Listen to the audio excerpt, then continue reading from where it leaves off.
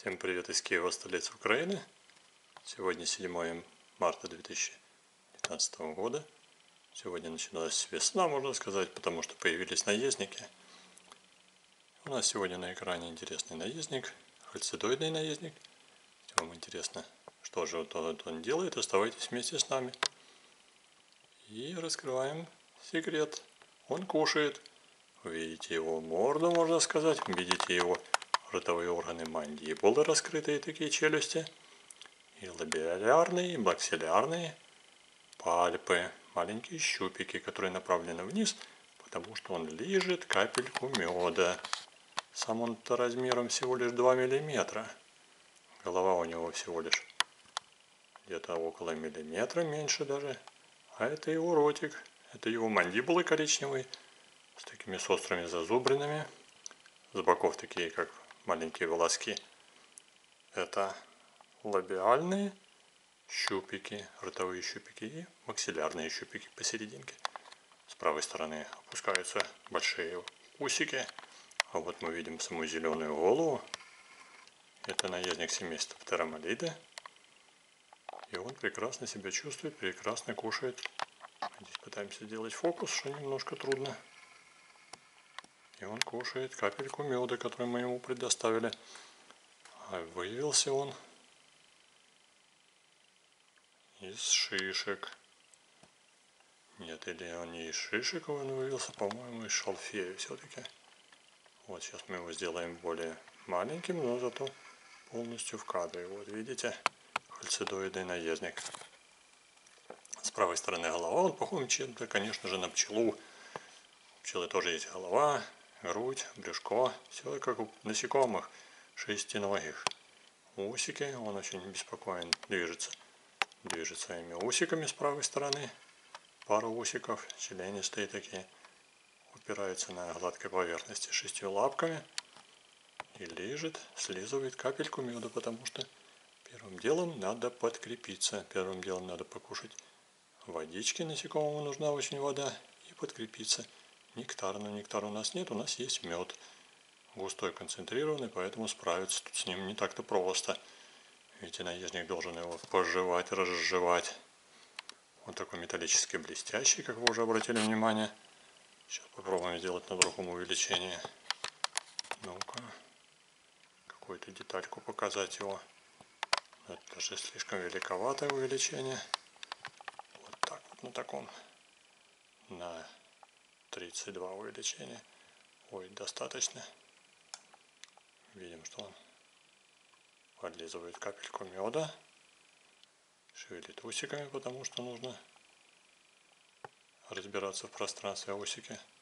Регулирует химические все воздействия. Определяет положение, находит самку.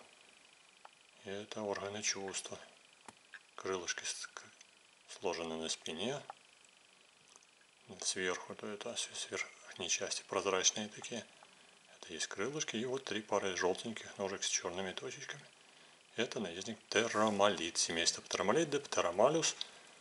И это паразит, точнее говоря, паразитоид, потому что он убивает свою жертву. Ну, не он, а его личинка, сам наездник, видите. Питается таким он нектаром, питается медом, сладким сиропчиком – водичку пьет, а вот его личинка, которая развивается в хозяине, например, в какой-то гусенице или в какой-то личинке мухи, гусеницы, бабочки, личинки мухи, пожирает ее и, соответственно, потом окукливается, и из куколки выводится такой прекрасный и красивенький наездник птеромолит. Вот он, у него такой типичная форма тела, габитус. И птеромолиды очень похожи вот на вот этого прекрасного птеромалиуса. Птеромалиды очень огромное семейство, в нем больше тысячи, наверное, видов, очень огромное семейство распространено по всему свету. Они приспособились к самым разнообразным условиям. Птеромалиды живут и в горных условиях, и в долинах, и в мокрых местах, и в засушливых, в полупустынях. Конечно же, их нет, наверное, в Антарктиде, где практически нет высших растений, есть только мхи или шайники – и водоросли еще. А высших растений нет. Ну надо, по-моему, там бабочки, которые бывает на лишайниках, но вот найти паразиты бабочки довольно-таки трудно, потому что нужно быть очень внимательным. Нужно ее собрать в достаточном количестве. Обязательно какой-то процент фитофага, растительноядного насекомого, будет болен, точнее говоря, будет заражен каким-то наездником. Наездником или хальцидоидным, проктотрупоидным наездником, или хнемонидом, наездником семейства ихнемоноидея. И часто заражают бабочек птеромаль... не только птеромалиды, но еще наездники, например, бракониды.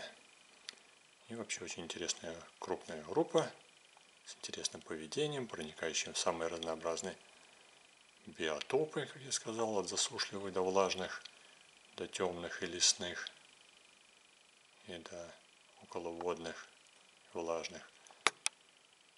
И заражает самых-самых скрытых хозяев, которые находятся даже под корой растений. Для этого у них вырабатывает специальная адаптация. Некоторые термолиды имеют очень длинные брюшко с тем, чтобы найти своего хозяина под корой дерева с хорошо развитым практически саблевидным яйцекладом.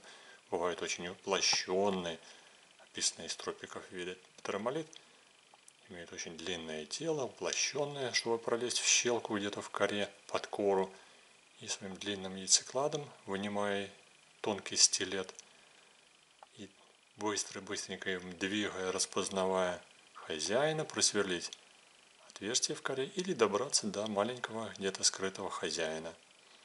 Заражают они и личинок, и куколок, и яйца личиночные паразиты, и личинка куколочные паразиты. Самый известный птеромалит птеромалис пупарум заражает хризалиса или куколку дневных бабочек. Да и ночной, если ему дать, тоже заразит запросто. И часто бывает в саду-огороде, тем самым Например, бабочек-белянок регулирует их численность в значительной мере до 150-200 экземпляров. Иногда выводится очень или более крупных экземпляров, если их мало, или очень мелких, если большое заражение куколок бабочек. Вот такой интереснейший сегодня птеромолит, который позволил нам немножко даже про него рассказать, потому что он успокоился и нашел таки себе капельку меда и позволил нам рассказать про него небольшую историю. Но если вам интересно еще больше знать о паразитах, о наездниках, о паразитоидах насекомых, оставайтесь с нами, подписывайтесь на канал, ставьте лайки, нажимайте на колокольчик в правом верхнем углу. Будем показывать нам новые интересные истории. Сейчас становится теплее, насекомые будут выводиться из разных-разных хозяев, из разных-разных растений – листики, стебелечки прогреваются, и насекомые все выползают, и паразиты-паразитоиды вылетают. Вот такой наездник термолит передает вам привет. С вами был Виктор Фурсов канале Виктор Фурсов Entomologist Beekeeper Сегодня 7 марта 2019 года. Пока-пока. До новых встреч.